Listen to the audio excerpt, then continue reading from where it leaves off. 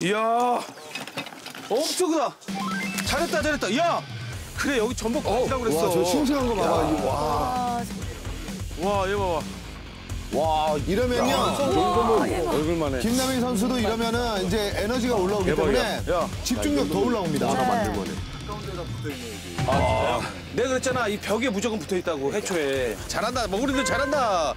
이 투머구리들. 아, 저는 사실 김남일 선수, 김 감독님 하면 이 진공청소기 아닙니까? 아, 필드에서. 그러니까 제가 이미 훑고 온 지역인데도 거기서 세 마리를 잡아버리니까 제가 할 말이 없는 거예요. 그러니까 아까 그러네. 뒤따라서 갔는데.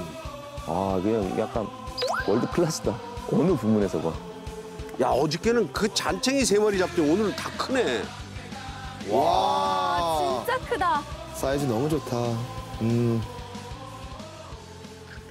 야 저 섬도 저기 벚꽃이 펴 있는 거죠? 아, 하얀 게. 아, 그러네. 맞아 맞아. 벚꽃이야. 중간 중간에 저 벚꽃이 펴 있네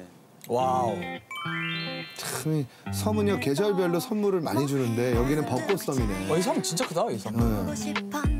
어 코끼리 코끼리 어디? 아 여기서. 보는구나. 아 이쪽이구나. 아 쟤네 알려줘야 되겠다 남일이 요거 요거 와우 야 이거 진짜 신기하지. 자연이 어떻게 이렇게 진짜. 어. 한 마리도 못 잡나 봐 또. 열심히 하긴 열심히 하는데 소득이 없네 야 대호야 대호야 너 빨리 잘 봐야 돼 3대 1이야 그러니까 손으로 더듬어야 돼 아 이제는 안시오가 가르쳐 줍니다. 네. 원래 이 부분은 대호 씨한테 누, 그 누구도 맞아. 어, 가르쳐 주지 않았는데